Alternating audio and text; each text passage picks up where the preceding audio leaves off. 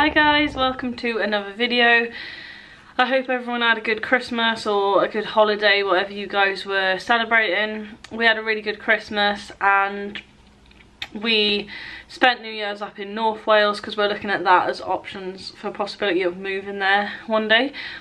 So we had a really nice New Year's Eve together, that was really good. We saw lots of things, loads of places, um, so that was fun. Sorry if my voice sounds a bit off, I've got like a cough, sort of cold, sore throat. It's weird, like it's usually due in the morning and then by the night time I feel alright and then I wake up the next morning with a really bad cough again. So I'm just taking some medication to try and pass it before it gets worse. So today's video is about sensory overload mostly, but just in general about how to cope with full-time working or working in general when you do have special needs or a disability. Um, my whole working life I have found working difficult, really tricky, even when I was undiagnosed with things and I was doing like work placements or um, I was doing like part-time work and things like that. The job that I'm currently in has probably been the hardest, well, not the hardest in terms of um, causing meltdowns and things like that, but in terms of managing it daily and struggling with it, the current job that I'm in is kind of like that. So when I used to work in the school, I used to really struggle with that the first couple of months and then I got into the swing of it and then when I had to leave it was like oh I don't want to leave because like I don't want to start somewhere new and you know you have to get used to everything again. But yeah the school was really hard. I'm not sure why because it was structured and it was like five days a week. I knew what shift I was doing I think it's because schools are really social places. There's loads of people in the classroom with you. There's people you have to deal with on a daily basis. Um, and it was all sort of face-to-face -face confrontation and talking like there was no email in or whatever like if you had an issue you went and spoke to the person which I found quite hard. But eventually I did settle there and it was really good. My current job causes me anxiety more than like meltdowns and stuff like I have touched on it before but it's a very rigid sort of job shift pattern job. I'm fine with the shift patterns and like I don't mind doing shift work or anything like that. Like I I get used to it as long as I know what I'm doing like that week I'm fine. Um, but for some reason this job causes me quite bad anxiety.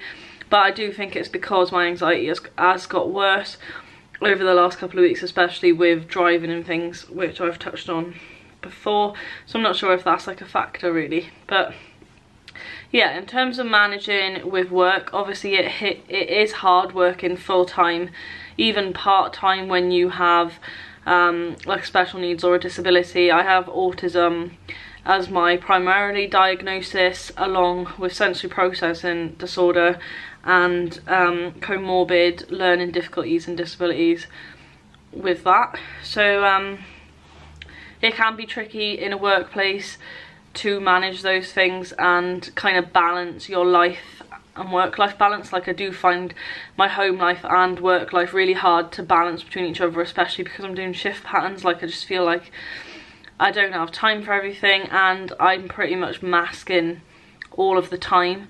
So that's tricky like when you kind of have to hide your disability or special needs. And I don't do it because I'm ashamed of having autism or special needs or anything like that. It's just something that I've I'm used to like I've been doing it my whole life so it's hard not to do it.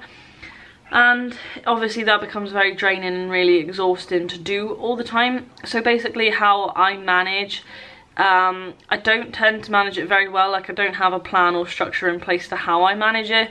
I kind of just push through and cope with it when I do and I do have moments where I just really struggle with it and um, resort to sort of unintentional self-injurious behaviour during like mini meltdowns from my autism or I take some time out with some sensory toys or sensory items, go for a walk, kind of give my myself space to regulate and calm down like watching YouTube videos, reading, like anything that helps you really if you can find something that you like to kind of calm you down and refocus you on things and sometimes it's just reminding yourself that you don't have to be perfect and you do actually have struggles and it's not always going to be easy. Um, I do think employees knowing that you have these issues can be helpful but then I can also see how they're not helpful I'm not really sure how I feel about it at my current work. Um, they accidentally found out that I was autistic and had other difficulties but mainly the autism. Occupational health know beforehand but like before you start the job but they don't tell your employee.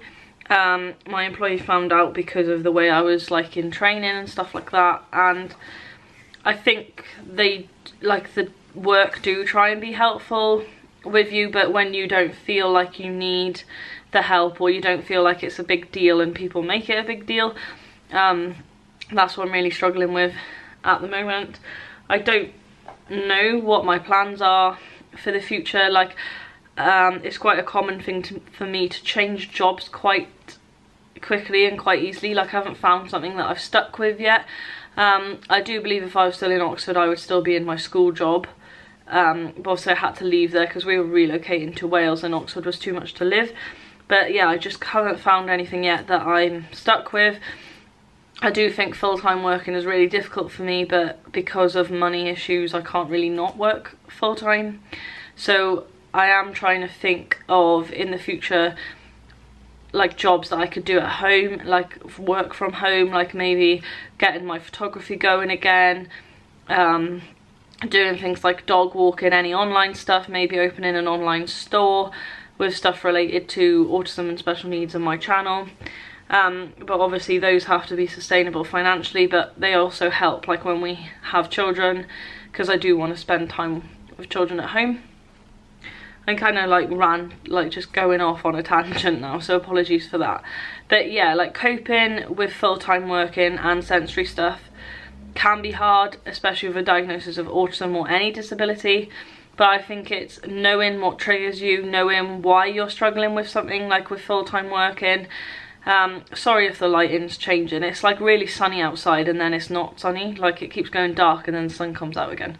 But um, yeah, it's like knowing what works for you and what doesn't. Kind of maybe write down what you think triggers you at work and how you could solve those.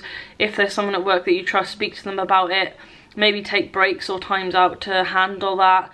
If you do have a sensory need that needs to be met constantly, like you need to stim constantly or um, have fidget toys and stuff with you at work, just tell someone um, in management or who's at work all the time that can approve that for you and tell them that you need that to concentrate, otherwise you can't cope.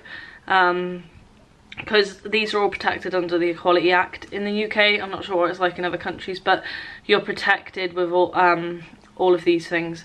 So they have to make reasonable adjustments at work to help you cope.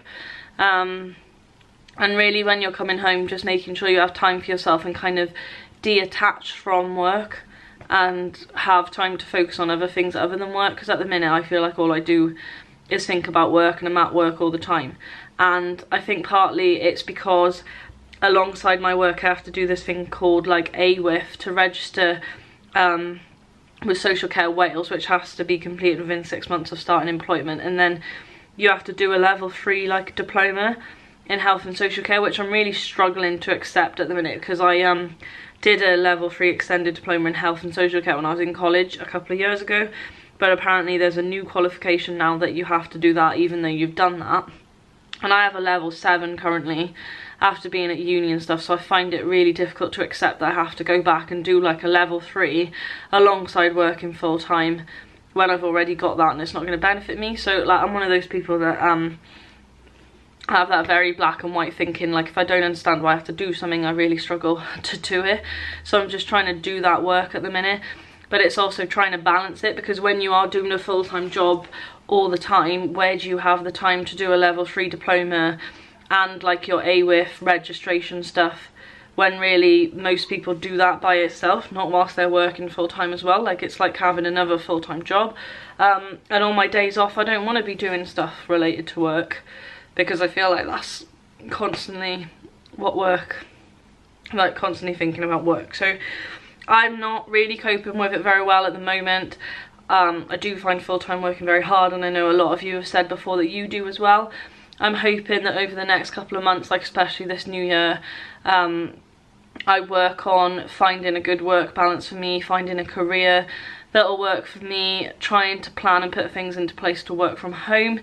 Um, I'd love to do things like childminding but because we're renting and don't have our own house yet that's not really something you can do in a rental. So we're trying to save to buy as soon as possible.